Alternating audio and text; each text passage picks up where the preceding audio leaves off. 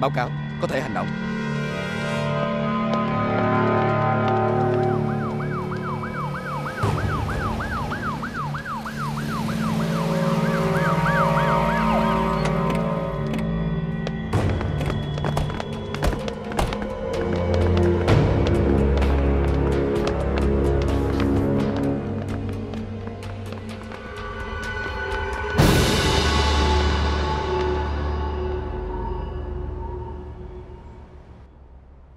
Ra, ngay từ khi đưa bác vào phòng cấp cứu, chúng tôi đã phát hiện ra. Nhưng vì lúc đó bác nằm mê man, chưa biết sống chết thế nào, nên chúng tôi cũng chưa tiện nói. Trời ơi bác sĩ ơi Chuyện gì mà bác sĩ khó khăn quá vậy Bây giờ bác sĩ nói đại luôn đi Làm tôi tò mò quá Im đi Nghe bác sĩ nói kìa Cắt ngang vậy làm sao bác sĩ nói được Hai người phải thật Dạ. bình tĩnh. Qua hình ảnh chụp CT, tôi phát hiện ra bệnh nhân có tình trạng progesterone tích tụ, làm nghẽn mạch máu. Trong đó có vị trí nghẽn mạch máu não, rất nguy hiểm. Ờm Mà bác sĩ Bác sĩ nói là nghẽn mạch máu Vậy là có khả năng gây đột quỵ hả bác sĩ Hiện tại đã cho thuốc tan khối đông máu, hy vọng sẽ có hiệu quả. Nhưng mà vẫn còn phải xét nghiệm, thì mới có câu trả lời chính xác được.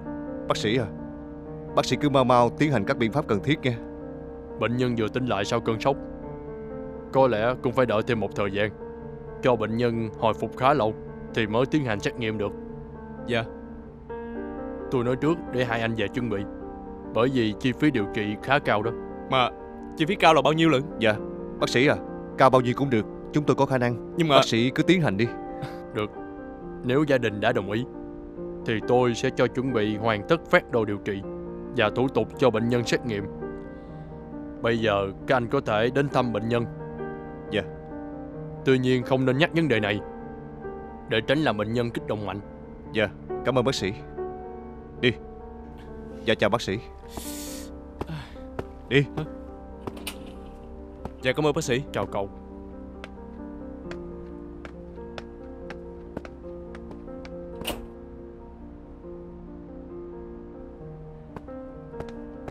Đại ca Anh không nghe bác sĩ nói hay sao? Bây giờ chi phí điều trị cao quá Làm sao có tiền mà Có bán nhà cũng phải cứu gì Năm Đại ca. Trời ơi.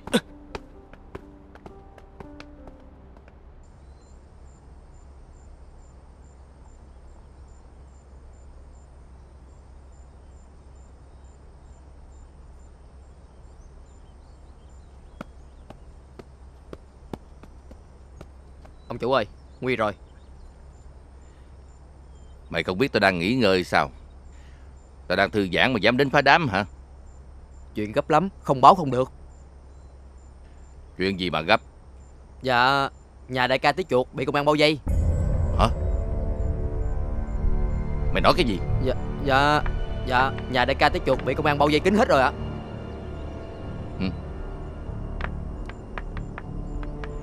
Công an? Công an nào? Dạ. Mau kêu thằng Tửng Đi tiếp cứu ngay Giá nào cũng cản đường để cho thằng tí chuột nó thoát. Dạ Em nghe mấy đứa nói là Tụi công an đã trang bị Súng ống rầm rộ lắm. Nên chuyện tiếp cứu ờ, em e là không được quá. Công an. Chuyện lớn rồi. Ông chủ ơi, chết rồi chết rồi, chết rồi ông chủ ơi. Chuyện gì? Thằng tí chuột bị tóm rồi phải không? Dạ, không phải tóm, mà là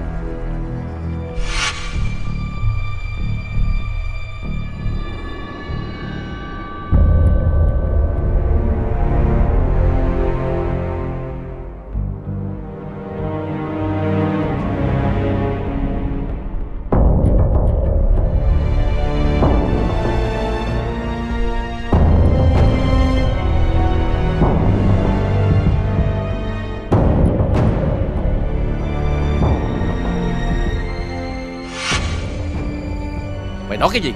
Dạ em nói đại ca tí chuột chết rồi. Chết? Tại sao lại chết? Dạ em không biết. Mọi người bu đông lắm. Công an niêm phong hiện trường rồi.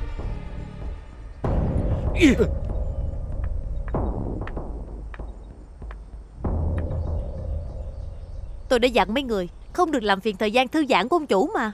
Sao mấy người không nghe lời gì hết vậy? Dạ đại ca tí chuột chết rồi cô chết rồi thì thôi.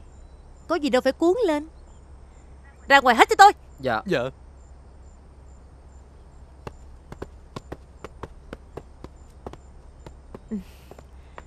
Ba Con pha sữa nóng cho ba. Ba uống đi cho khỏe.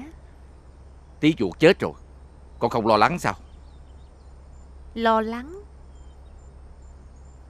Có gì phải lo lắng chứ ba? Tí chuột là cánh tay phải của bà Lăn lộn trên giang hồ nhiều năm. Không phải là tay mơ, Mà bị giết một cách dễ dàng.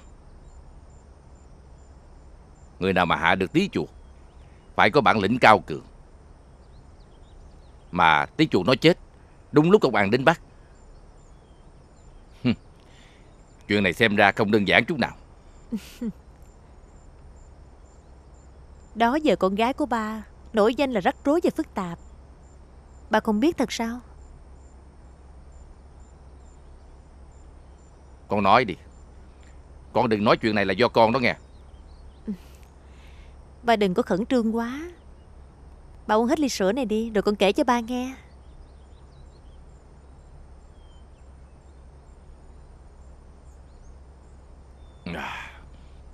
Bà uống rồi đó. Con kể đi Thật ra Tư Hoành vốn dĩ là Không biết ba là ông chủ Nên con và Hùng Huệ đã tương kế tụ kế. Hùng que Con và Hùng Huệ đã ngụy tạo nên một tình huống Khiến cho Tư Hoành nghi ngờ Chính tí chuột Đã ra lệnh kêu đàn em bán đứng Tư Hoành. Cho nên hắn ta mới tức giận Khai với công an Chính tí chuột là kẻ cầm đầu Con cũng ghê gớm thật. Dám giết tí chuột trước mặt công an. Phải Tí chuột chết rồi. Sợ chỉ đầu mối duy nhất của công an. Cũng đứt luôn. Con đừng có chủ quan. Công an không phải là trẻ em Để dễ bị lừa đâu. Nếu như Người ta không tìm ra manh mối từ tí chuột Thì lời khai của Tư Hoành Coi như vô giá trị nên có thể hắn sẽ không thoát khỏi án tử hình. Còn lấy gì để bảo đảm, Để cứu mình? Một lần nữa, Hắn không bắn đứng hùng què. Đó là chưa kể tới chuyện Họ sẽ điều tra đến cái chết của tí chuột Có liên quan tới con. Ba của con đúng là nhìn xa trông rộng, Nhưng mà con đã dự tính đâu vào đó hết rồi. Ngay khi tí chuột bị giết chết con đã mang tất cả những bằng chứng phạm pháp của ba đổ lên người hắn Một khi nắm được các bằng chứng này Công an nhất định sẽ tin tư hoành Nghĩ mình đã bắt được con cá lớn Còn về cái chết của tí chuột thì Bà cứ yên tâm đi Con gái của ba không hề mảy may dính dáng. Từ đầu tới cuối, âm mưu này là của Hùng Què. Bước đường cùng, để cứu tướng, ta có thể thí cả hai xe. Xem ra thủ đoạn của con Ngày càng tinh vi Bà quá khen rồi, con chỉ học hỏi từ ba thôi. Còn cái chuyện mà cưới Mỹ Lan làm vợ, bà suy nghĩ tới đâu rồi? à. Trong lúc dầu sôi lửa bỏng này Bà không có tâm trí để đùa đâu Nhưng con cũng đâu có đùa, con nghiêm túc mà. Bà phải cưới Mỹ Lan cho con. Càng nhanh càng tốt. Nghiêm túc Ừ, rất nghiêm túc. Trước này con không thích bà quen bạn gái Sao tự nhiên bắt ba cứ vợ ngăn hông vậy Mà hơn nữa Bà cũng không thích Mỹ Lan Con cũng đâu có thích cô ta. Không thích Vậy sao Vì con muốn có câu trả lời cho nghi ngờ của mình. con nghi ngờ Mỹ Lan Con nghi ngờ điều gì Thì ba cứ thử hỏi cưới Mỹ Lan đi. Câu trả lời từ cô ta cũng chính là câu trả lời của con. Còn bây giờ, tạm biệt ba nha. Con đi công chuyện đây. Con đi đâu Thì ờ, con đã chặt mất cánh tay đắc lực của ba Nên bây giờ phải tìm cho ba cánh tay đắc lực khác chứ Ừ. Dễ kiếm sao? Cảnh tinh hả? Con đi nha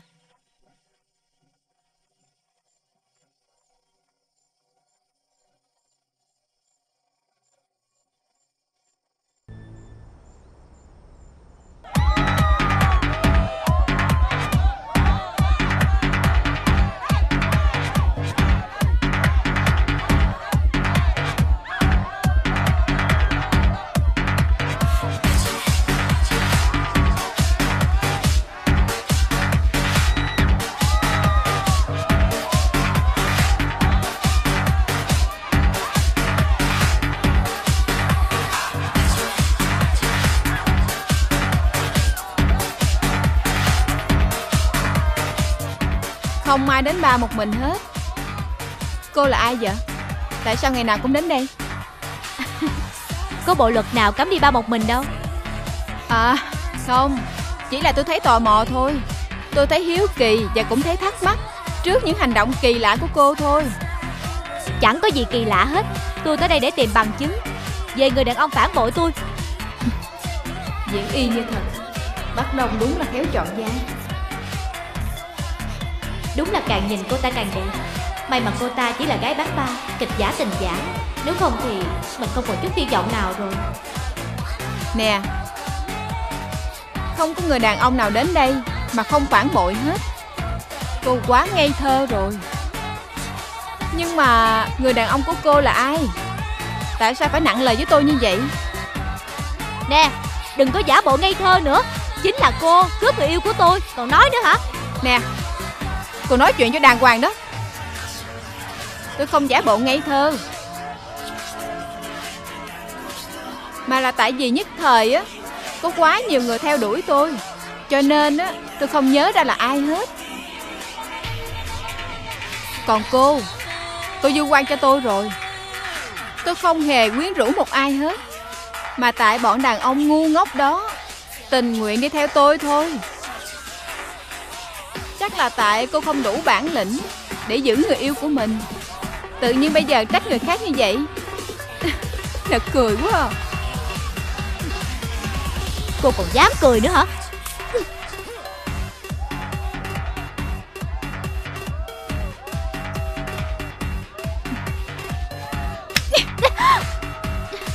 Dám đánh tôi hả? Đi Có chuyện gì vậy? Anh nó quýnh em đó. Đây là bạn của tôi. Chuyện này để tôi giải quyết. Đi. Không có chuyện gì đâu. Đi tiếp đi. Ê. Ôi. Có chuyện gì vậy Mỹ Lan? Thì cái con khùng đó Tự nhiên ở đâu lòi ra nó làm cướp bồ của nó. Mẹ đó. Thôi cô làm việc tiếp đi. Em biết rồi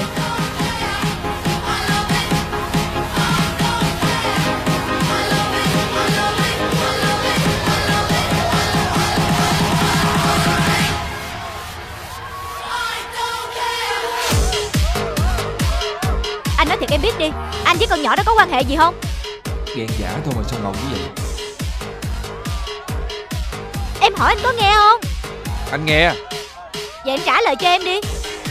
Anh với Mỹ Lan có quan hệ gì không?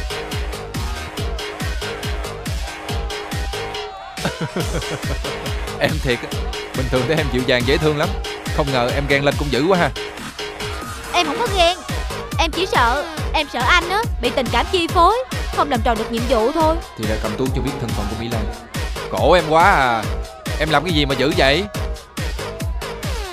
Anh trả lời em đi. Ây. Đâu? Anh có tình cảm với Mỹ Lan đúng không? Anh trả lời em biết đi. Đóng kịch thôi mà nhéo đau dữ vậy? Ờ ha Đóng kịch thôi mà. Nhưng mà Gì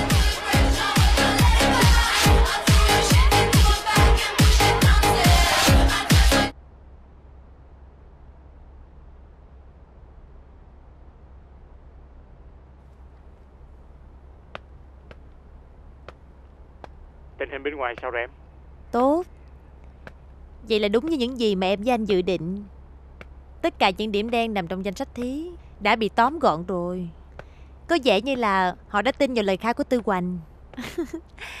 Cho là mình đã bắt được Tư Hoành Và đang xóa sổ một tổ chức tiêu thụ heroin tầm cỡ. Vậy tốt quá. Vậy anh yên tâm ăn ngon ngủ yên rồi. À em Ông chủ có nói gì không?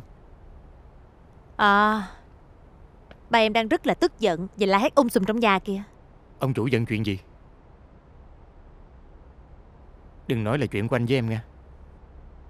Thì chính là chuyện Anh với em tự ý hành động Không thèm hỏi qua ý kiến của ba đó.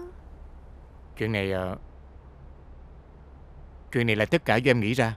Anh chỉ là người thi hành thôi. Anh không bao giờ dám hành động một mình Mà không thông qua ý của ông chủ Coi anh kìa. Mới hù anh có một chút Mà đã đẩy hết tội lỗi qua cho em rồi. Khí phách nam nhi của anh để đâu vậy? Ờ, Anh không có để tội Nhưng chuyện này Chuyện này anh không cần phải lo. Ba em rất là hài lòng với hành động lần này Và ba còn hứa là sẽ thưởng đậm cho anh với em nữa kìa. Em cứ làm anh giật mình hoài. Không cần phải giật mình đâu. Ba em có mắt nhìn người mà.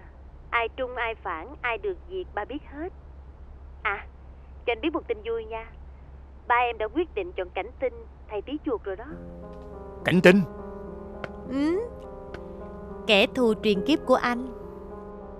Nhưng mà Vì đại cuộc chung Em mong anh hãy bỏ qua chuyện cũ Mà hợp tác tốt với anh ta nha. Dĩ nhiên là anh bỏ qua chuyện cũ rồi. Nhưng cảnh tinh là một thằng cứng đầu. Xưa nay nó chỉ hành động một mình thôi. Anh e không dễ thuyết phục nó đâu Đó là tại vì anh không biết cách thu phục nhân tài thôi. Nhưng mà với em thì khác. Khó như anh mà em còn thuyết phục được nữa là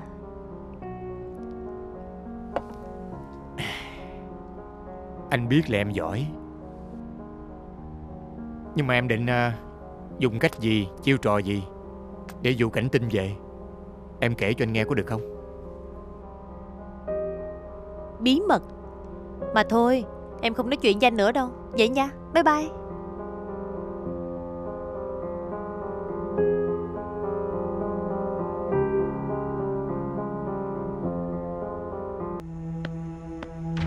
Đại ca. Đại ca. Chuyện gì? Em vào bảo với đại ca Là chuyện Hưng Bư đã giải quyết xong. À vậy à? Em nhìn đại ca có vẻ lo lắng. Không lẽ thằng Tư Hoành nó thay đổi lời khai hả đại ca Sinh mạng của con bồ nó nằm trong tay của tao.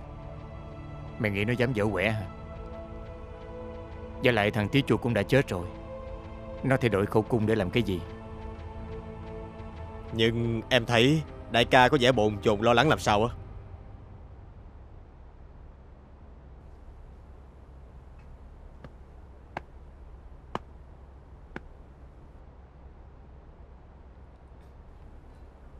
Mấy bữa nay Tao định tiến cử mày với ông chủ. Cho mày vào vị trí của thằng tí chuột. Mày có thích không? Thiệt hả đại ca. Nếu được vậy Công đức của đại ca Với thằng em này ví như trời biển. Đời đời kiếp kiếp Em không dám dông ơn bội nghĩa với đại ca đâu.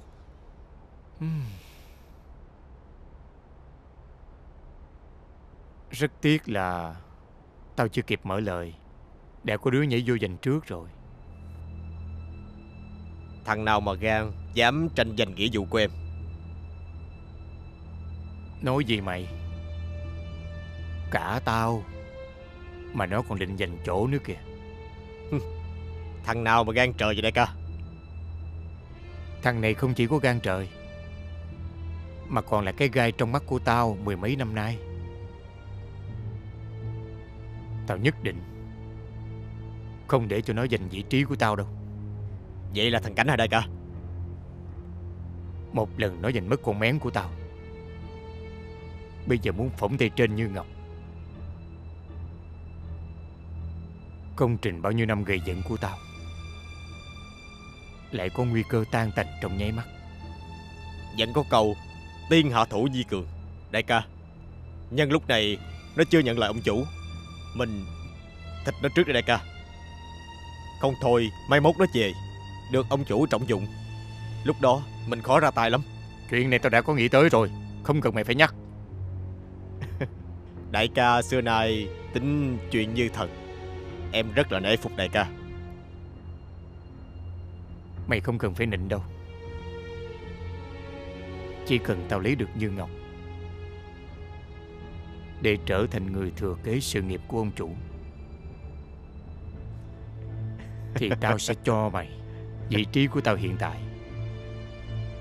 Đàn em này nhất định sẽ tận trung với đại ca. Nhất nhất nghe lời đại ca chỉ dạy.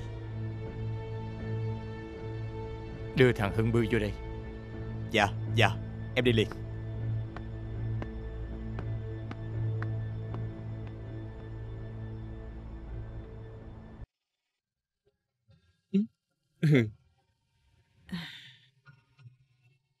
Nè Không phải là gì không tin hai đứa nó Nhưng mà dì định á, là hỏi con cho chắc ăn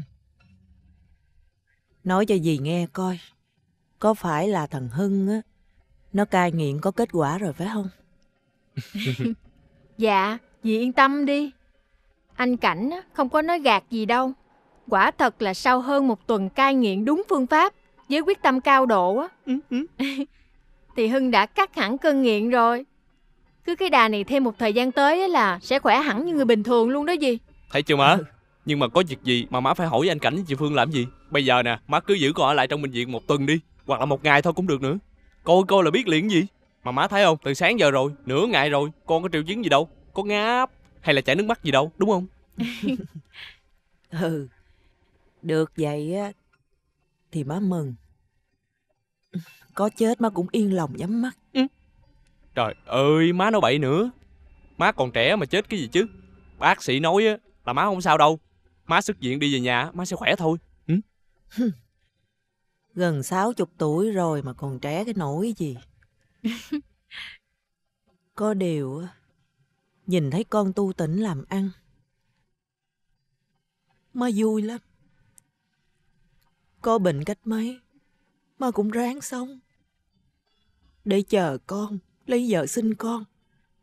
Rồi sinh cho má một đứa cháu nội. Tròn trịa mập mạp. Dì Năm à Con tin chắc là Dì sẽ sống tới ngày đó mà. Dì đừng có lo nghe Con hứa chắc như vậy đó. Con hứa chắc với gì vậy hả? Dạ con hứa chắc chứ. Sĩ Phương Con coi nó đó. Nói chắc giống như là đinh đóng cột vậy đó. Nó làm như nó là ông trời vậy. Anh Cảnh nói vậy á là tại vì thời gian này tình cảm của Tuyết với Hưng á tiến triển tốt lắm. Thiệt hả con? Dạ, Vậy là ông thầy bói này Ông coi linh quá trời luôn. Ông nói á Dì năm nay là dì sẽ có dâu Nhưng mà dì không có tin.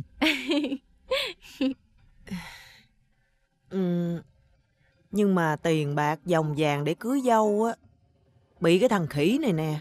Nó lấy hết rồi. Bây giờ mà muốn cưới á Không biết chạy đâu cho kịp nữa. Dì Năm à Dì đừng có lo. Con biết Tuyết nó biết điều Với lại Nó cũng không có đòi hỏi gì đâu. Dì đừng có lo lắng quá nghe. Ừ. Nhưng mà đời con gái có một lần à Đơn giản quá cũng tội nghiệp Mà cũng tại con hết trơn á Phải chi con đừng có sai vô con đường nghiện ngập Thì đâu có đến nổi Con biết rồi mà má cứ nhắc hoài thiệt tình.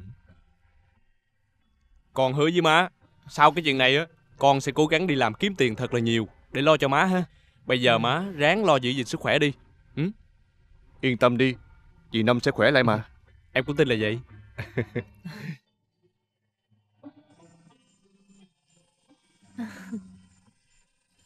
Càng lúc em càng thích chị nhiều hơn rồi đó Em thấy chị và em có nhiều điểm tương đồng lắm em biết á là từ nhỏ chị rất là thích ngựa. Mỗi lần xem tivi á, chị có ước ao được một lần cưỡi ngựa đó.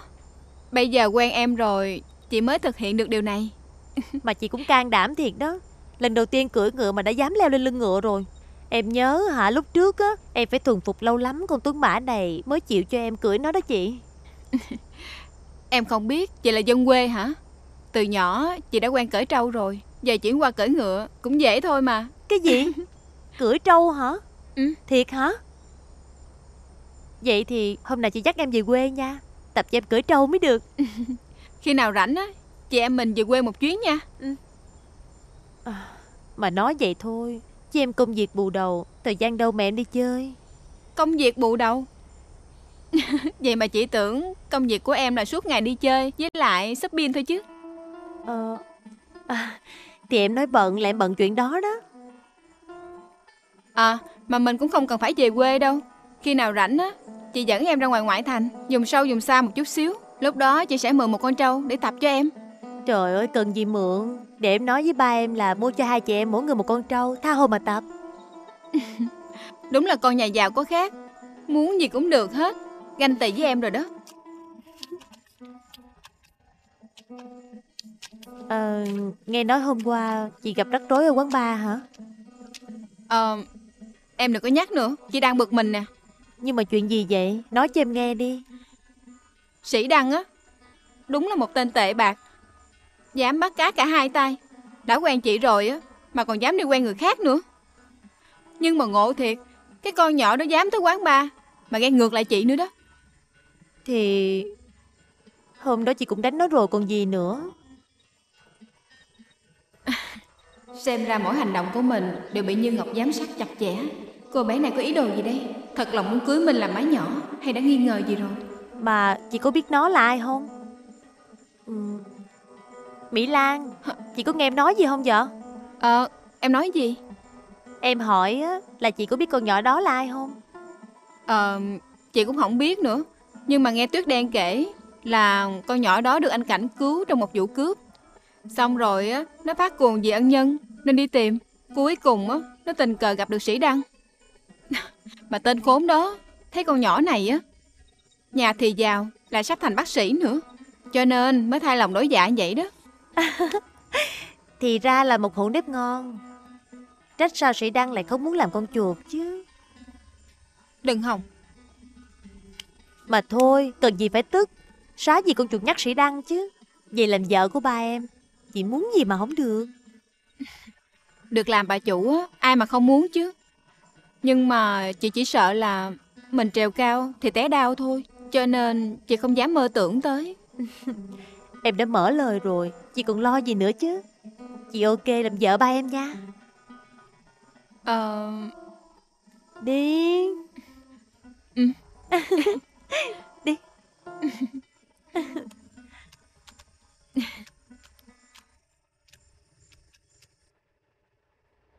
Nếu anh với lại gia đình đã quyết định mổ cho bệnh nhân á, thì phải tiến hành ngay.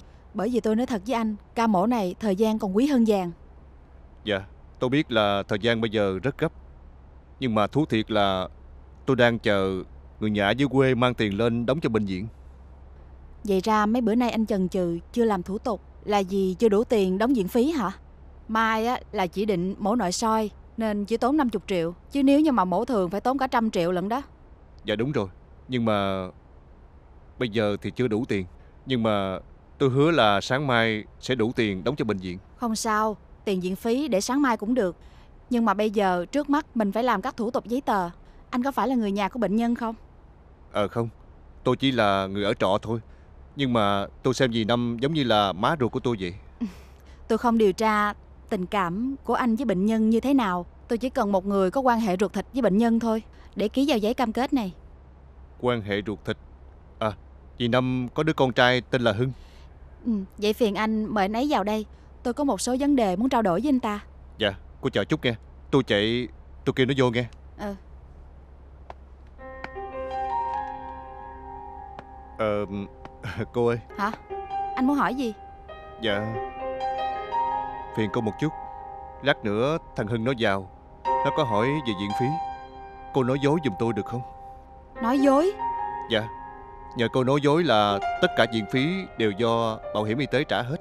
Bảo hiểm y tế không phải là thanh toán tất cả khi điều trị, mà thanh toán cao nhất cũng chỉ là 80% trên tổng số tiền viện phí. Nhưng tiếc là theo nguyên tắc, bệnh nhân đã không mua bảo hiểm, thì làm sao thanh toán được? Và tôi không thể nói dối giúp anh được. Dạ, tôi biết điều đó chứ. Nhưng mà Trong trường hợp này mà nhờ cô nói dối thì rất vô lý. Nhưng mà khổ nổi á, thằng em của tôi nó nghèo mà nó sĩ diện lắm. Nếu như biết được là tôi ờ, chi trả toàn bộ viện phí thì nó nó sẽ đòi ờ, đem gì năm về.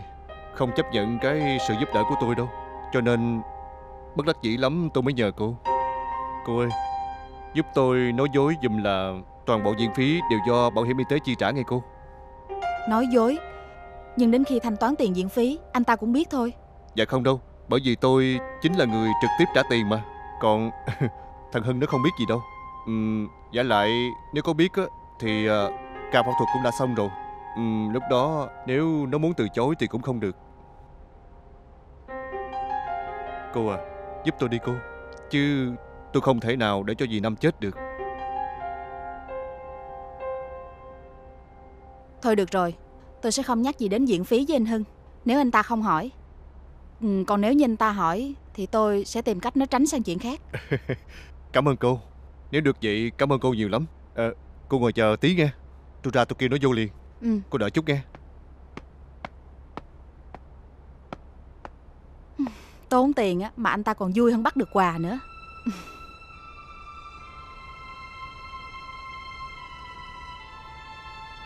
Cảm giác êm đềm, ấm áp này là từ anh mà có hay từ ảo giác?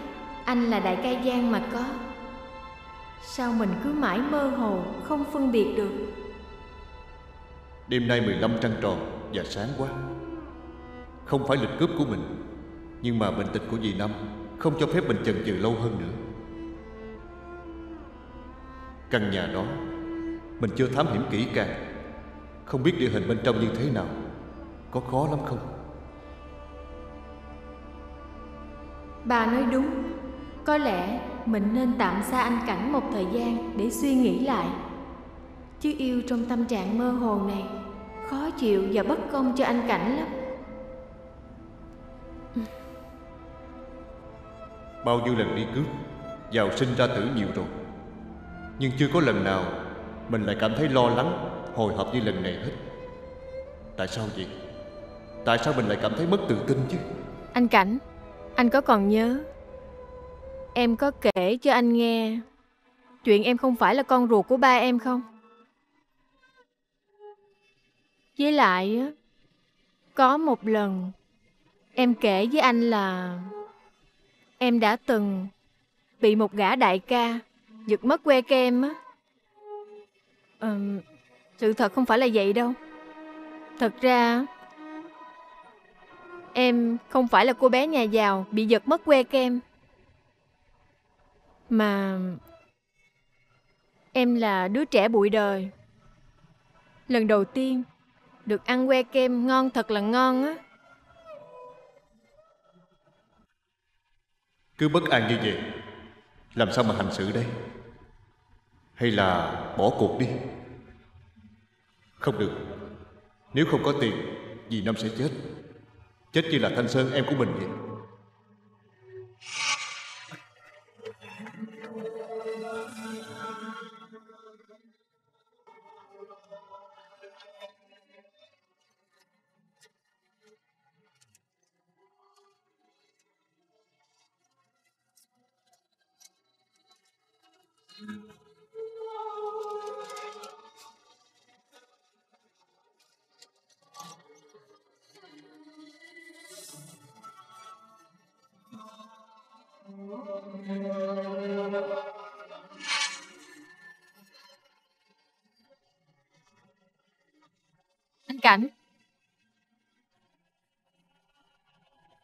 Anh, anh có nghe em nói không? Anh Cảnh, sao không trả lời em? Ờ ừ, Anh, anh bị sao vậy? Anh không có sao Có chuyện gì vậy? Nhìn mắt của anh lạ lắm. Rất đau thương. Sĩ Phương à Ừ? Anh buồn quá Anh sao vậy? Em có yêu anh không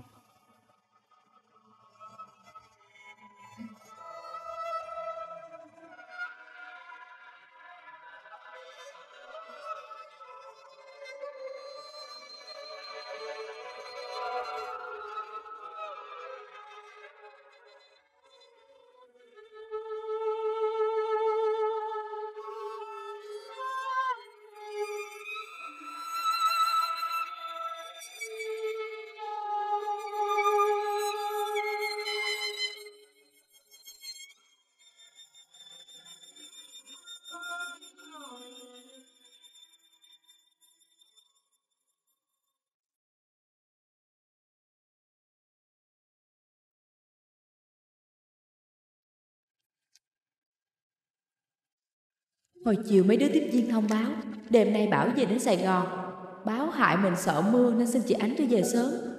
Vậy mà từ tối đến giờ có thấy gì đâu, Trăng còn tròn và sáng hơn mọi khi nữa. Bầu trời thì lặng gió và yên tĩnh một cách bất thường. Có phải như trong mấy bộ phim thường nói, Trước khi dông bão xảy ra thì bao giờ cũng là khoảng lặng?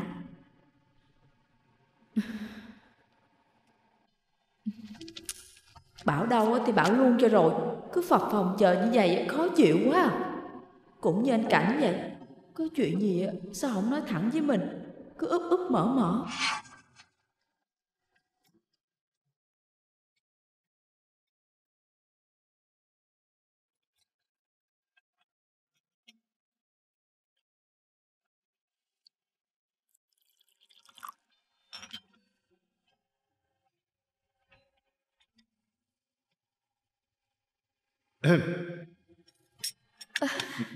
Ờ, Là anh hả? Anh đi. Em đang bận hả? Ờ, Không có. Em rảnh mà. Chỉ là em mừng quá nên không biết làm gì hết. Ừm, Lâu lắm rồi anh mới ghé nhà em chơi. Ờ anh xin lỗi. Dạo này anh cũng bận. Anh ngồi được không? Được chứ, dĩ nhiên rồi. Anh hỏi khó em hoài à. Em chỉ mong á là khi anh về đây á, cứ coi giống như nhà của anh vậy À mà anh uống gì? Anh uống cà phê nha, để em đi kêu cà phê cho anh Tuyết uống à thôi khỏi. Em đang ăn cơm mà. À, Em ăn gần xong rồi. Anh không uống cà phê thì để à, em lấy nước lọc cho anh. Không cần đâu Em đừng có lăn xăng nữa. Anh nói xong câu chuyện anh sẽ đi ngay mà. Anh làm gì mà gấp vậy? Ở lại đây chơi với em một bữa đi. Ừ, Lâu lắm mới được gặp anh em thấy nhớ. Tuyết à Anh em mình quen nhau đã bao nhiêu năm rồi? Em nhớ không? Chắc là cũng khoảng 4 năm rồi. Đêm đó nếu như mà không có anh Chắc em chết rồi. Em nói thật đó Bức ép em á Thà em cắn lưỡi chết cho rồi. Bốn năm rồi. Nhanh thiệt hả? Trước đen à? Anh xin lỗi. Kể từ hôm đó Anh đã để cho em bơ vơ giữa dòng đời Đừng nói như vậy. Anh vẫn thường quan tâm và lo lắng cho em mà. Mỗi khi em gặp khó khăn Anh đều xuất hiện kịp thời. Không. Ý anh muốn nói là Anh đã hờ hững với em. Anh đã hờ hững trước tình cảm của em. Ừ, Sao tự nhiên anh lại nói chuyện này? Ờ, Có phải là nước chảy đá mòn? Cuối cùng anh cũng hiểu được tấm chân tình của em rồi đúng không? Tuyết à Từ trước tới giờ anh yêu ai Em là người biết rõ nhất mà. Em biết. Nhưng mà Em không ghen với em mén của anh đâu. Anh cứ ngỡ Ngoài mén ra Anh sẽ không yêu ai được nữa. Cho đến khi Cho đến khi anh gặp sĩ Phương Có đúng không? Em biết là mình không bằng được như người ta. Không phải đâu. Anh không chê em điểm nào hết. Em là một cô gái hiền lành, tốt bụng. Thậm chí em rất thật thà. Em không giống với bất kỳ cô gái giang hồ nào khác. Nhưng mà nếu em tốt như vậy Tại sao anh không yêu em đi? Anh không yêu em Nhưng anh rất thương em Tuyết à Anh nói thật nghe. Thằng Hưng Nó yêu em lắm. Em mà làm vợ nó Nhất định sẽ có hạnh phúc. Anh ở đây chỉ để nói với em chuyện này Em không muốn nghe đâu. Tuyết. Thật ra anh đến đây là Có chuyện muốn nhờ em. Anh nói đi. Anh muốn nhờ em giữ giùm anh thứ này Đó là cái gì vậy? Sáng mai anh sẽ nói cho em biết. Sáng, sáng mai. Vậy đêm nay anh sẽ đi đâu? Anh sẽ đến một nơi rất xa. Có thể là anh sẽ không quay trở lại. Cho nên trước khi anh đi Anh mới tìm đến em này Anh, anh đừng có làm em sợ. Hay đã có một băng nhóm giang hồ nào Đòi thách đấu với anh hả? Không có chuyện gì đâu. Em đừng có suy diễn nữa. Không có gì nguy hiểm cả. Chỉ là anh phòng xa thôi Nhớ lời anh dặn nha. Dạ. Không được mở ra. Cho đến khi anh quay trở lại nghe không? Em hứa Em sẽ không mở ra. Anh yên tâm đi. Ừ. Sáng mai anh sẽ quay trở lại lấy. Còn nếu như trưa mai mà em không thấy anh quay trở lại Thì em có quyền mở ra Và làm đúng theo những gì anh viết trong thư Nha. Nhưng mà anh có chuyện gì vậy Sao anh nói ly kỳ giống như là trong phim kiếm hiệp vậy? Không có chuyện gì hết. Bộ em không tin anh sao? Không phải là em không tin anh Nhưng mà chuyện này nó lạ quá. Chắc là do em xem nhiều phim Hồng Kông quá Nên ảnh hưởng vậy thôi. Không có gì đâu. Em nhớ nha. Nghe lời của anh dặn đó. Dạ em biết rồi. Ừ. Ngày mai á Anh sẽ quay trở lại. Rồi anh sẽ kể cho em nghe Thôi bây giờ anh đi đây.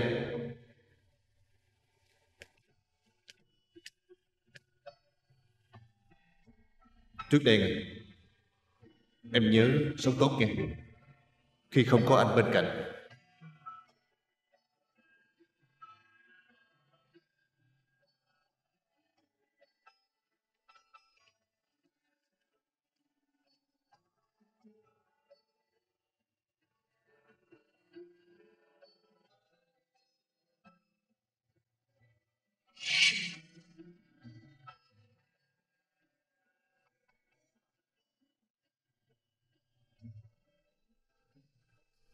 Dù không biết chuyện gì, Em vẫn cầu mong cho anh bình an vô sự.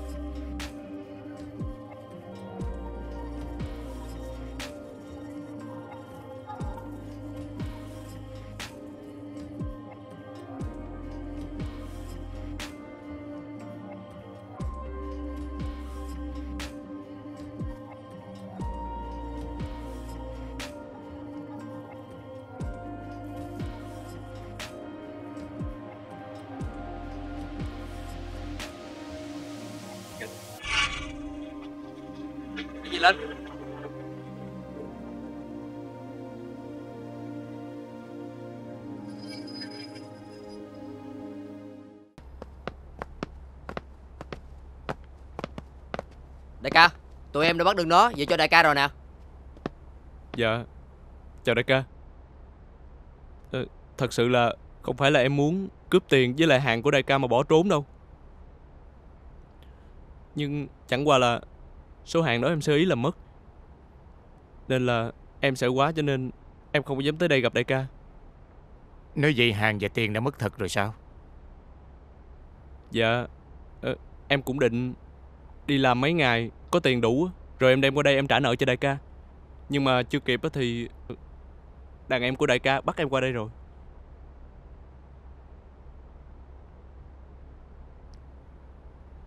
Mày gia nhập giang hồ chưa lâu?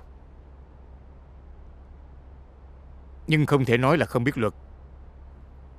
Tội cướp hàng và tiền bỏ trốn. Bị xử làm sao? Mày có biết không? Dạ Chuyện này em biết à Mày biết sao? Mày nói tao nghe. Dạ chuyện này Mày nói cho nó nghe đi. Dạ thưa đại ca. Nhẹ thì chặt đứt ngón tay. Nặng thì đập vào bàn tay.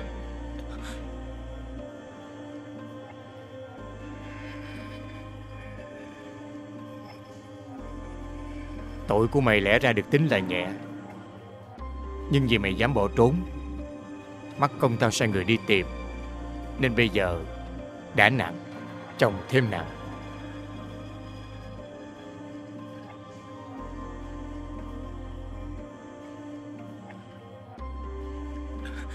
Đại ca ơi Đại ca tha cho em đi đại ca. Em hứa một lần Em không bao giờ em tái phạm nữa đâu. Một lần nữa thôi đại ca. Sao đại ca? Đập nát bàn tay của nó hay sao đại ca Mày muốn tao tha Cũng được thôi. Nhưng mà mày hãy mau khai ra. Đứa nào dám lấy hàng của tao? Dạ Không có ai lấy hàng của đại ca hết. Em nói với đại ca rồi. Là em sơ ý Đi ngoài đường em làm rớt mà. Thiệt hả? Dạ thiệt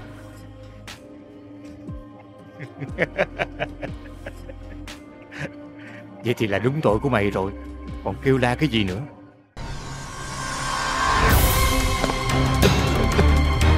Đại ca Tha lỗi cho em đi đại ca. Nóng quá đại ca. Đập nát hai bàn tay nó cho tao. Dạ Đừng. Đại ca Em xin đại ca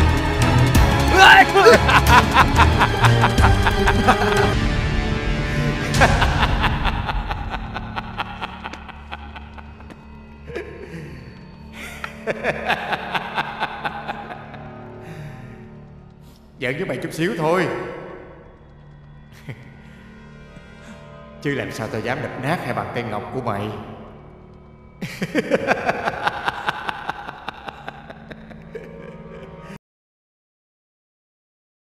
Ai phá hàng? Tao cũng biết thằng nào phá hàng của tao.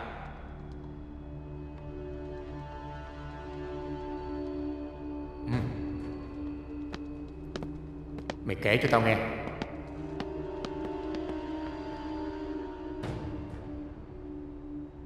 Dạ. Chuyện này Đúng là anh cảnh của em làm. Nhưng mà sao anh biết? Tao làm sao biết? Là chuyện của tao.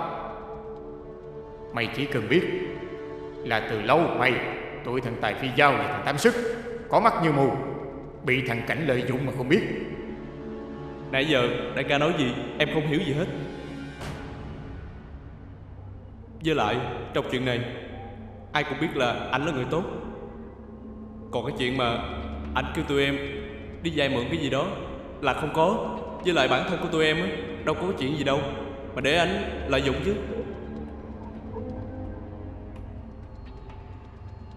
Nó cấm tụi mày làm giang hồ, Dẹp hết đám bảo kê, Làm ra vẻ thật thà tốt bụng.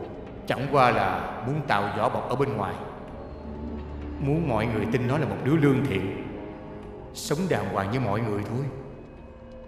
Dạ Nhưng mà sự thật Đúng là vậy đó đại ca. Đúng cái đầu của mày. Nó chỉ giả vờ hiền lương thôi. Để che mắt tụi mày Che mắt công an để dễ bề hành động. Đại ca nói càng ngày em càng khó hiểu Với lại anh Cảnh anh có hành động gì chứ? Nhưng mà tại sao cái chuyện che mắt công an ảnh phải làm? Nó là ai? Và tại sao phải che giấu thân phận của nó? Nếu tao nói ra Chưa chắc mày đã tin. Chi bằng bây giờ chính mắt mày thấy Tai mày nghe Cho chính xác. Mắt thấy tai nghe hả? Mày chỉ cần làm đúng lời của tao dặn Mày không những chỉ biết rõ chân tướng sự thật. Mà cả tội danh làm mất hàng của tao. Cũng được xóa bỏ.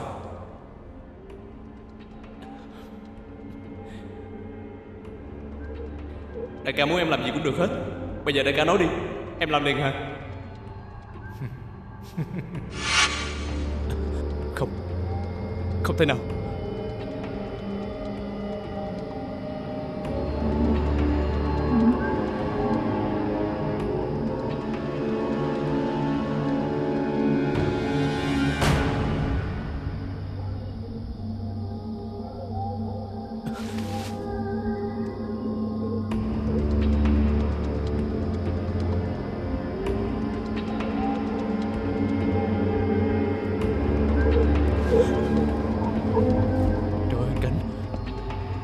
cướp cả tinh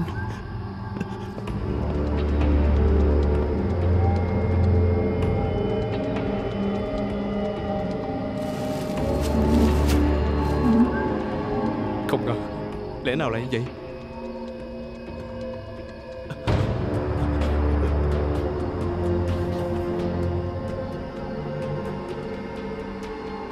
Alo, Đại ca hả? Dạ Em Hưng Bương nè anh.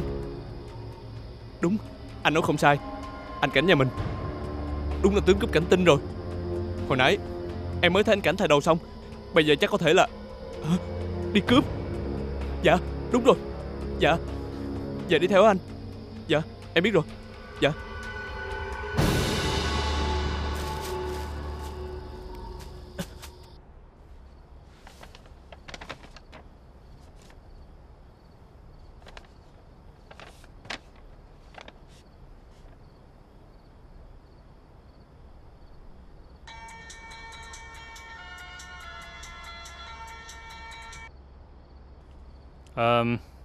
Chú nghe đây Tâm Có chuyện gì gọi chú giờ này vậy Dạ thưa chú, vừa có tin mật báo, tên cướp cảnh tinh chuẩn bị gây án. Cảnh tinh gây án Dạ. Tuy tin báo rất rõ ràng cụ thể về địa điểm và thời gian gây án, nhưng mà con thấy không đáng tin cho lắm. Sao lại không đáng tin Cậu nói thử coi Vì hôm nay là ngày 15, không đúng với lịch trình gây án của tên cướp này. Người cho tin biết rõ Như thể họ đang ở trong đầu của hắn Nhưng đúng là không tin được Nhưng dù đúng dù sai Chúng ta cũng không nên bỏ sót. Dân đã tin tưởng báo tin Thì chúng ta phải làm tròn trách nhiệm. Dạ, con biết rồi. Lập tức tập hợp lực lượng triển khai Đúng như kế hoạch dự phòng. Chú sẽ tới ngay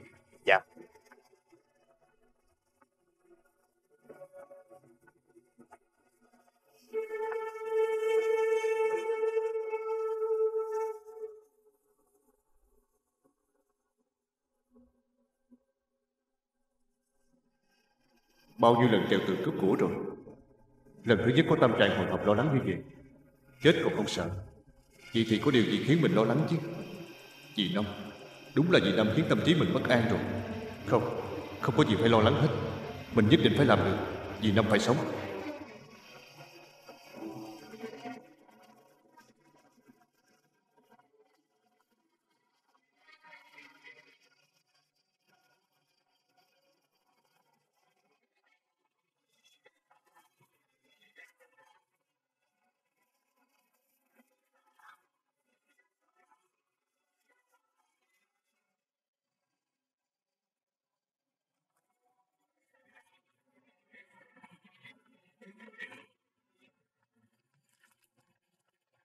Ba Khuya rồi, có chuyện gì mà sao ba đi ra ngoài vậy? Ờ, sao giờ này con chưa ngủ nữa?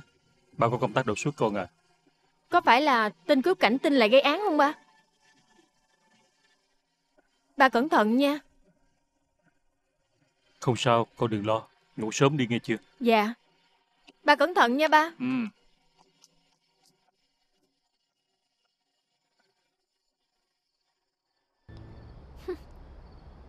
Ghét tình cướp cảnh tinh thật Báo hại ba mình mất giấc ngủ ngon.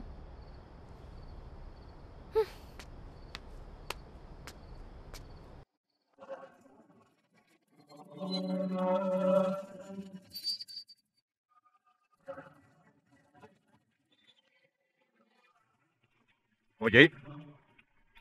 Ngồi dậy. Ngồi dậy. Dậy lên. Ngồi dậy. Ông xã. Câm miệng Giết. Đừng có giết tôi. Ra đi. Tôi là tướng cướp cảnh tinh. Mà mời cảnh sát để 50 triệu. Để lên. Dạ dạ. À. Chú đừng làm như vợ nghe không? Bước xuống giường. Để lên. Dạ. Cầm miệng Muốn chết hả? Để lên. Thank you. Thank you.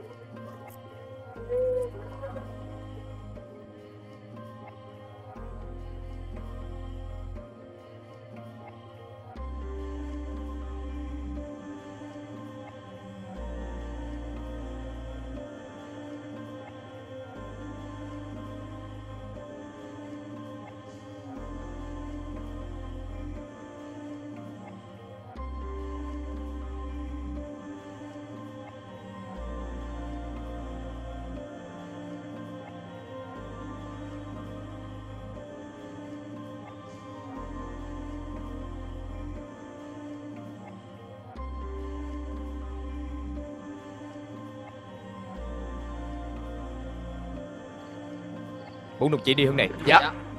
Hai đồng chí hướng kia. Dạ. Hai đồng chí ra canh cửa.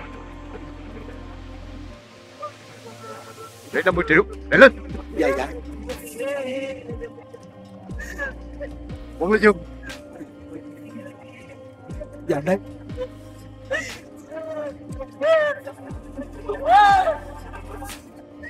Bảo ơi Có gì Có gì Không sao đâu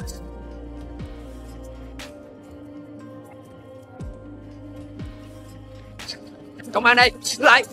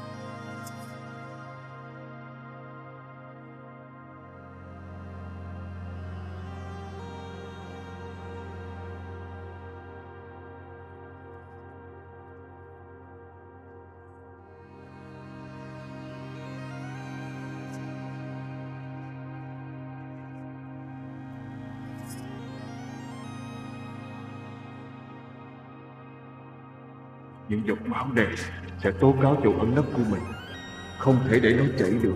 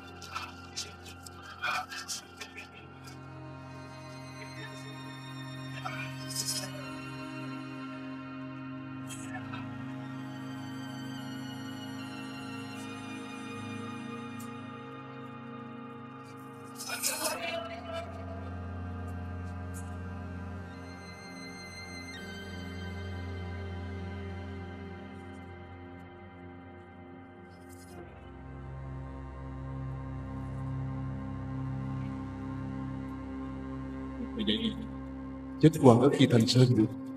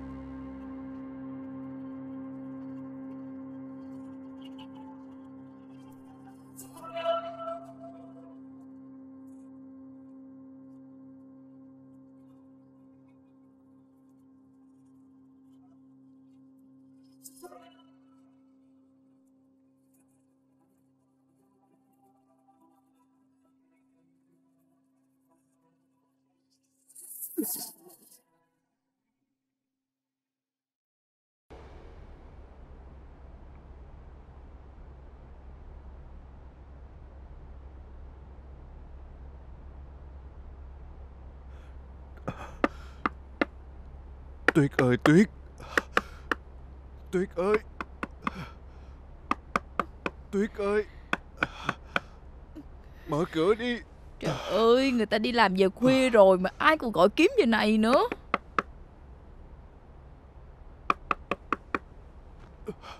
Tuyết ơi Mở cửa đi Tuyết ơi Anh, anh Cảnh, anh bị gì vậy? Xóa sạch mọi dấu vết giùm anh Đừng có nói với ai là anh ở đây nghe chưa? Dạ,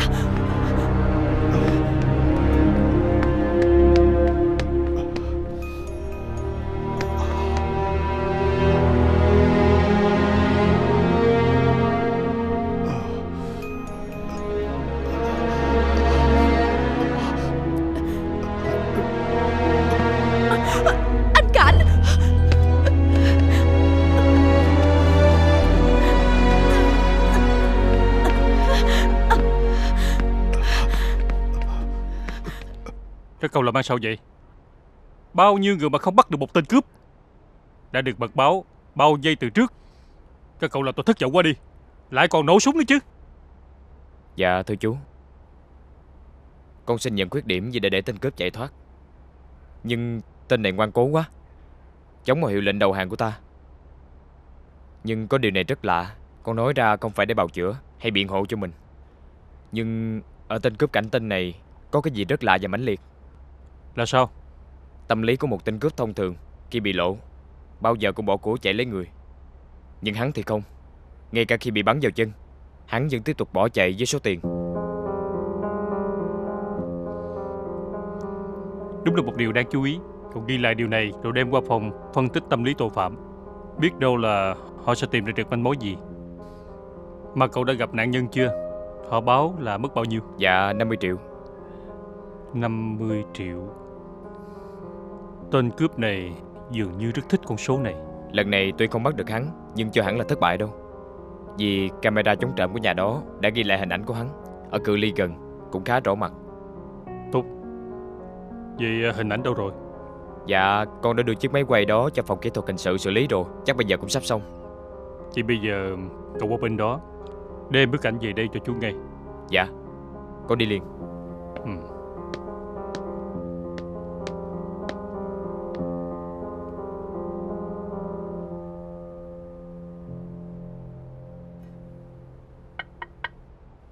Dạ đi con Ba Dạ thưa bác con mới tới Hai đứa không đi học sao mà sáng sớm đã ra đây tìm bác rồi Ba, ba làm việc kiểu gì mà ba bắt cướp cả đêm mà không nói với con tiếng nào. Tới sáng cũng không nhắn gì luôn nữa. Con sợ á là ba chưa có ăn gì hết nên con làm mấy món ăn đem vô cho ba nè. À nếu con không nhắc Đúng là ba cũng quên là chưa ăn sáng Đó, thấy chưa? Vậy thôi bây giờ ba ăn đi. Ba làm việc rồi ăn uống thất thường vậy dễ bị đau bao tử lắm đó. Còn nóng nè ba, ăn đi ba. Một chút nữa ba ăn à, Bây giờ ba phải làm một đống công việc này Một chút của ba là mấy tiếng đồng hồ đúng không? Thậm chí con biết á hả là ba quên không ăn luôn á. Con rành ba quá mà. Thôi ba ăn đi, ngay tại bây giờ cho con thấy đi. Ai lại ăn ở trong phòng làm việc chứ Một lát á Bà xuống căng tin bà ăn nha Bác Con nghe nói Hồi tối này bác đi bắt tên cướp cảnh tinh hả bác? À, Tin tức lan truyền cũng mau ghê ha. Có phải Sĩ Phương nữa con nghe phải không? Dạ. Vậy mình bắt được hắn chưa hả bác? À, Rất tiếc. Đã để hắn chạy thoát rồi con à. Lại thoát nữa? Ừ. Tên cướp này ghê gớm thiệt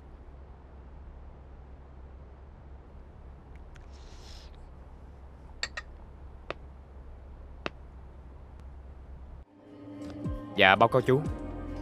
Ảnh tên cướp đã có rồi. Đưa chú xem. À, Cho con xem coi Ai đây có quen không? Trời Cướp mà làm sao bà quen được? Con đã vi phạm nguyên tắc làm việc của ba rồi đó nghe chưa? Sĩ Phương Con sao vậy? Ê Sao vậy? Xem hình tên cướp rồi mất hồn luôn hả? Bộ Tên cướp đẹp trai lắm hả? Cho coi với Hai cái đứa này làm gì ạ? Trả lại cho bác.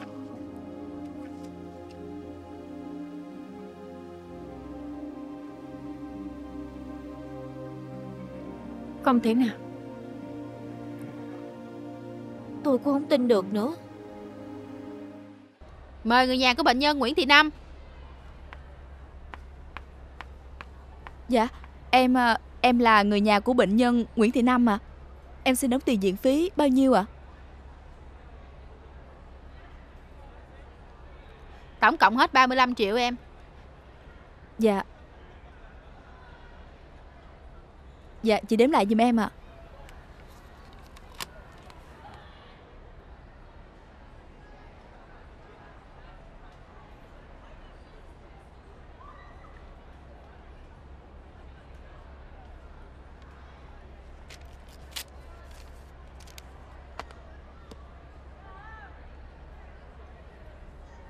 Cho chị gửi. Dạ em cảm ơn. Ừ.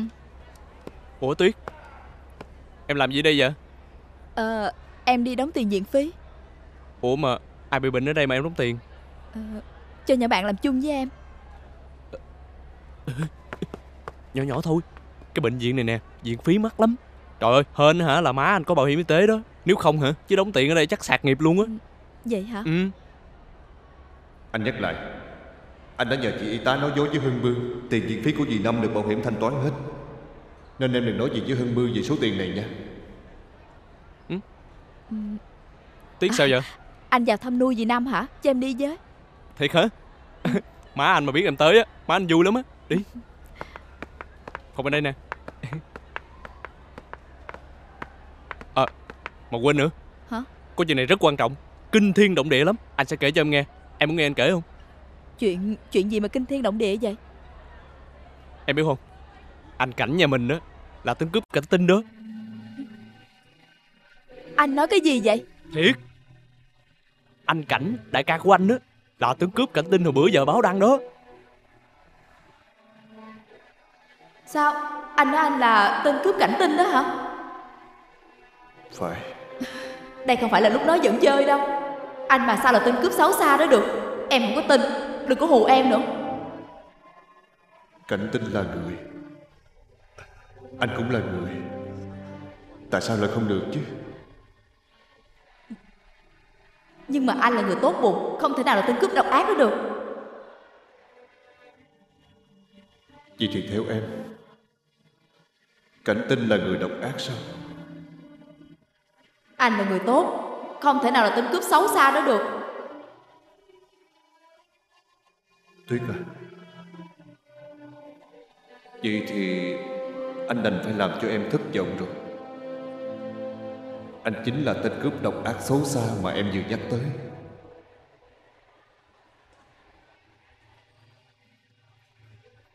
Ê. Ê Tuyết. Hả? Bị sao vậy? Em đang tự hỏi Một người tốt như anh Cảnh Thì làm sao có thể là tên cướp cảnh tinh được Trời, ơi em ơi. Lúc nào cũng binh Ảnh mà là người tốt cái gì? Lúc nào cũng che giấu thân phận ờ, tướng cướp của mình. Đó Dùng cái vỏ bọc đó để che mắt các bọn công an Có biết không? Đúng là thủ đoạn tinh vi. Anh không có phục. Anh đừng vội nhận xét về anh Cảnh như vậy. Em không tin anh ấy xấu xa đến mức độ như vậy đâu. Không tin hả? Trời ơi Em nghĩ sao vậy?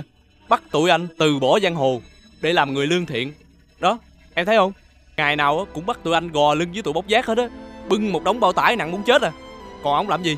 Cầm dao kề cổ người ta đi cướp Lấy tiền làm việc riêng. Em nghĩ có tức không? Anh sẽ báo công an tố cáo ông đó. Thôi chuyện này để từ từ rồi tính. Bây giờ thì chuyện má anh quan trọng hơn. Hình như là bác sĩ đã lên lịch mổ cho dì Năm rồi đó. Ủa? Tại sao má anh sắp mổ Mà em lại biết.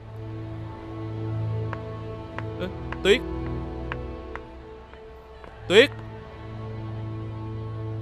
Kỳ vậy ta? Đợi anh với coi. Tình hình thế nào rồi? Dạ báo cáo chú. Đã phát lệnh truy nã toàn quốc. Ờm, làm việc mau lẹ lắm. Ờm, còn đồng chí Tấn, đồng chí Kha, hai đồng chí lập tức triển khai cho anh em đón lỏng ở bệnh viện. Hỏi bộ phận nhận bệnh xem mấy ngày qua có bệnh nhân nào bị bắn vào chân phải nhập viện hay không.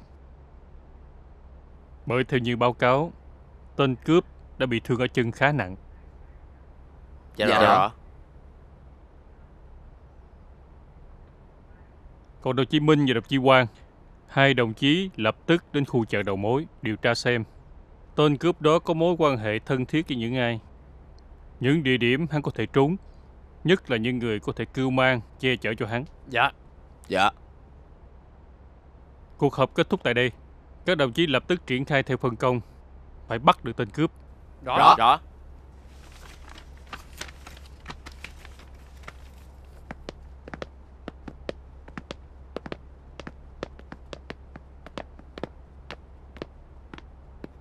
Ờ chú Mấy bữa nay tâm trạng của sĩ Phương tệ lắm phải không chú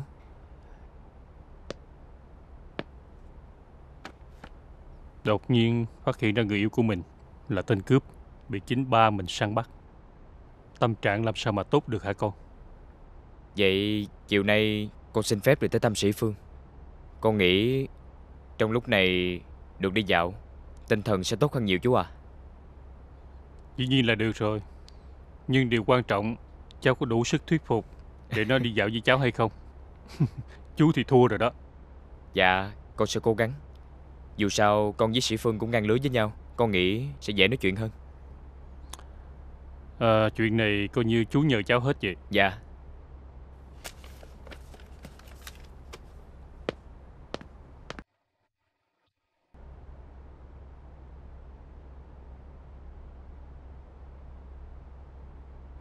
Ủa ba. Cả tháng này con không thấy ba thiền. Sao bữa nay ba chăm dữ vậy? Con còn hỏi nữa. Bà đang điên đầu về cái việc Cưới Mỹ Lan làm vợ của con đây. Trời ơi Điên đầu. Ba được cưới một bà vợ đẹp như tiên mà ba điên đầu là sao? Con phải biết Xưa nay bà chỉ chơi gái ở bên ngoài. Không bao giờ có ý định nghiêm túc với ai Và lại càng không có thói quen Đưa về cùng chung sống một nhà. Chứ Bộ ba tưởng là con khoái lắm sao? Tất cả chuyện này là con bày ra. Nếu cảm thấy khả nghi Thì con có thể Cần gì phải bày ra lắm chuyện như vậy? Ba Ba làm ơn ba nghĩ sâu xa một chút đi nếu như đúng cô ta là người của công an, Thì ba có dễ cứu cổ cô ta hay không? Lơ mơ một chút á, Là cái vỏ bọc bao lâu nay của ba sẽ phải hiện nguyên hình trong chớp mắt. Mà chúng ta cũng chưa chắc cô ta là cá chìm mà. Nếu xài được cô ta, Biết đâu ba sẽ có thêm một cánh tay đắc lực thì sao? Con thì lúc nào cũng nhìn xa trông rộng rồi. Nhưng mà tại sao ba phải cưới Mỹ Lan? Thì con mới nhìn ra chân tướng được chứ. Ba không nhớ người ta có câu nói này sao? Không vào hang cọp Sao bắt được cọp con? Nhưng cái này Là dẫn cọp vô nhà đó. Con biết Nhưng mà con đang cố tình làm ngược lại. Dẫn cọp vào hang Để cho ba dễ quan sát hơn. Không khéo á Thì bị cọp dồ như chơi. Bà cứ yên tâm đi Con của ba sẽ không để bị như vậy đâu. Trước khi nó kịp đưa móng vuốt lên Thì con đã bóp nát nó rồi. Thôi Không nói về vấn đề này nữa. Nhưng con phải cho bà biết Chuyện của cảnh tinh tới đâu rồi. Công an đã phát lệnh truy nã toàn quốc. Con phải nhanh tay lên mới được. Bà cứ yên tâm đi. Con nhất định sẽ tìm được cảnh tinh về đây trước công an cho ba coi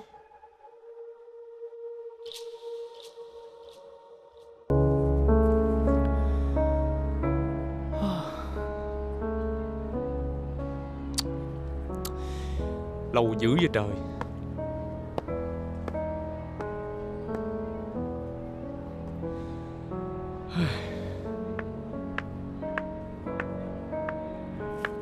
Nè ăn bánh mì đi. Trời ơi em ơi má anh đang mổ trong kia Chưa biết ra sao. Lòng dạ đâu mà bây giờ anh ăn uống nữa. Không lòng dạ thì cũng phải ăn. Từ tối đến giờ anh chưa ăn gì hết. Anh nằm xuống đó rồi ai lo cho dì Năm chứ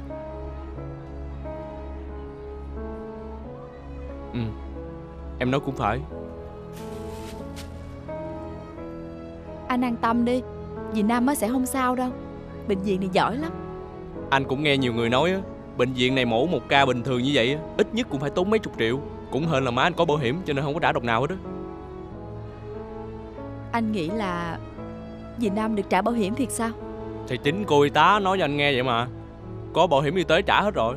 Không đúng hả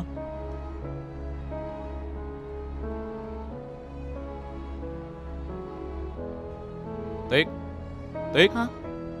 Sao em nói? Có phải là tiền viện phí của má anh á Bên bảo hiểm trả đúng không?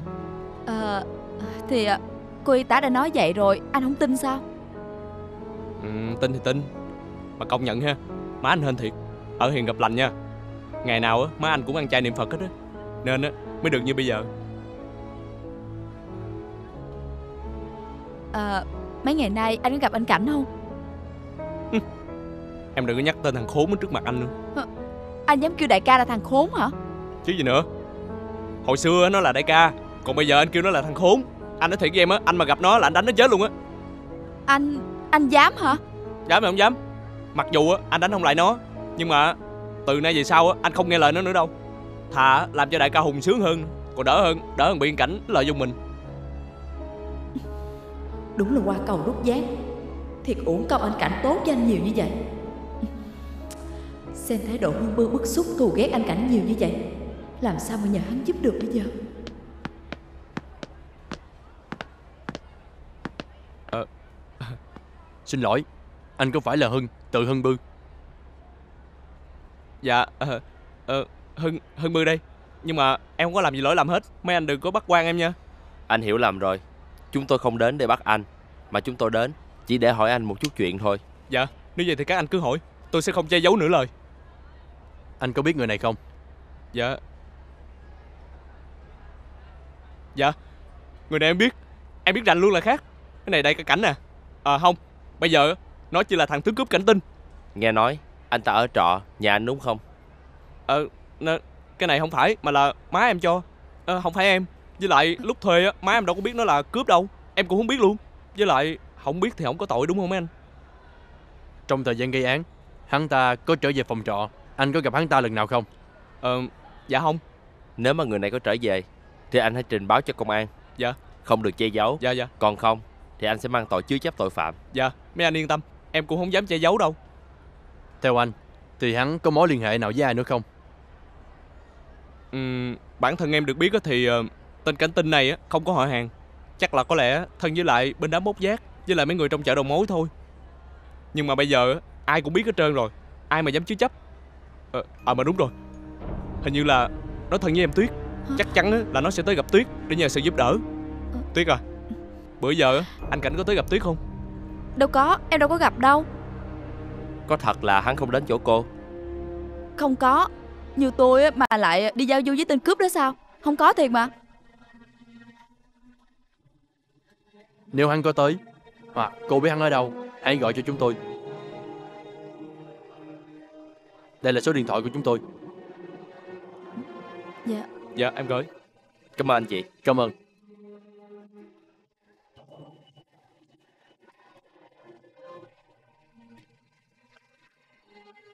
Thái độ rất là khả nghi. Tại sao anh không hỏi địa chỉ nhà của cô gái đó? Chính vì thái độ khả nghi Nên tôi giả bộ cho số điện thoại Mà không xin địa chỉ nhà Tránh bước dây động rừng Chúng ta phải báo cáo tình hình này lên cấp trên Và đề xuất lệnh khám nhà Chắc chắn tên cướp sẽ tìm đến nhà cô ta Không sớm thì muộn. Ừ.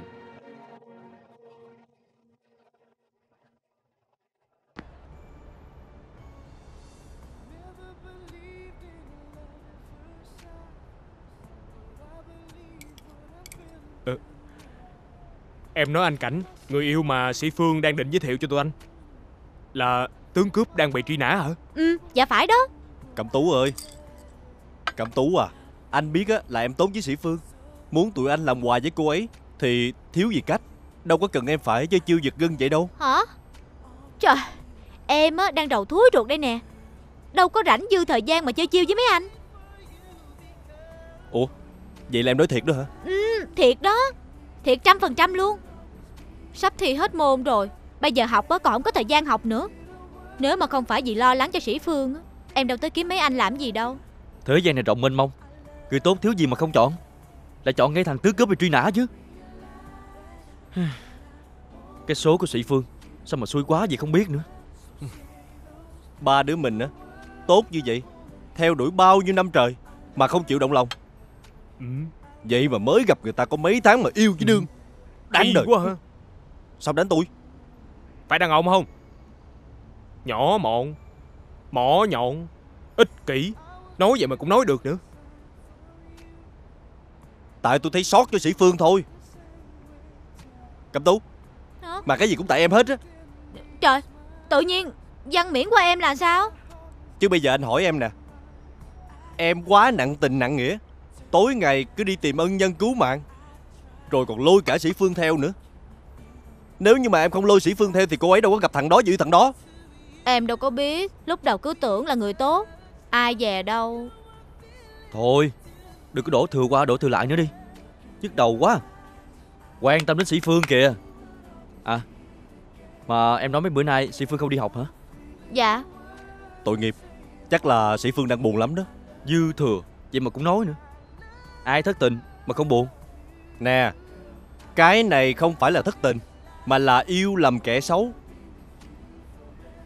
Mà Nghĩ cho cùng thì cái tên khốn này nó cũng tinh quái thiệt á Sĩ Phương của mình thông minh vậy á. Vậy mà cuối cùng cũng bị nó lừa. Đưa tôi báo coi Coi cái mặt đó coi. Nè Ông còn coi làm gì nữa? Ủa? Sao đẹp trai hơn ông sao? Đẹp trai cái đầu của ông á. Tôi coi á Để lỡ sau này mà có xui á Gặp nó ngoài đường kêu công an bắt nó. Ờ Phải hả? Ông không nói tôi cũng quên mất. Đây đưa cho tôi coi với. Mà tôi nói thiệt với hai ông nha Tôi mà gặp nó ở ngoài đường á Trước khi báo công an Tôi phải đập cho nó một trận Cho hả dạ mới được. Có mới nói nha. Cái tướng của ông nhìn giống công tử bột lắm đó Trói gà không chặt mà đòi đánh ai.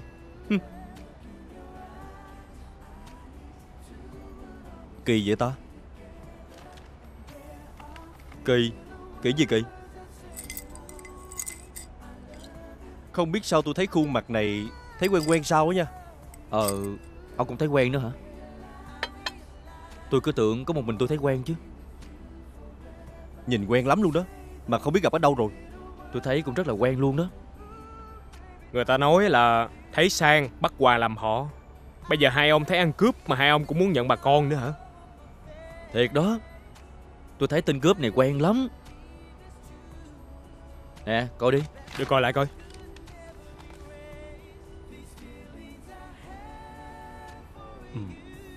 Hai ông nói tôi mới để ý đó nha. Đúng là cái tên này thấy quen mặt lắm.